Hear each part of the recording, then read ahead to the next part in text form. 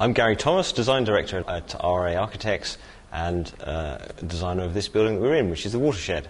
As you see the building from a distance, essentially what you see is the, is the medieval stone wall. That is what you read first of all.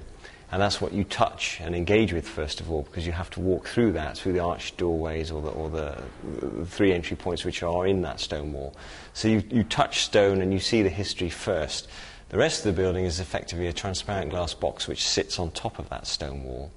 And you don't really perceive glass. You see through glass, you see reflections in glass because it's reflective and you can see this sort of double reflection. You can see one world pieced together with another world which sits beyond it. So that's quite interesting. So from the outside, that glass, what that's doing is reflecting the tree canopy, reflecting the buildings that are around it. So you don't really perceive this box which is sat on top of the stone wall when you do perceive the space, obviously when you're inside it and you come upstairs and you stand on the first floor and you look out to the landscape, to the trees behind us, the cathedral, the river. So that's ultimately the experience from one seeing the history first and then the revealing of the reflection and then ultimately discovering the space on the inside. Watershed is uh, principally an event space.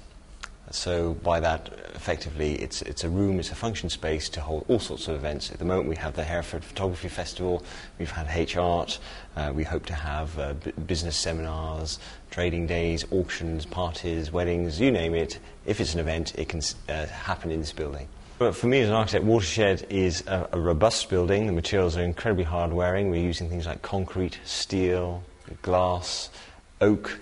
Uh, all of it's here. Uh, so it's a very hard-wearing building, a very robust building, and ultimately, given that they're, they're sort of hard, robust, um, principally natural materials, um, it's a very earthy building, and I think a, a very warm building to be within.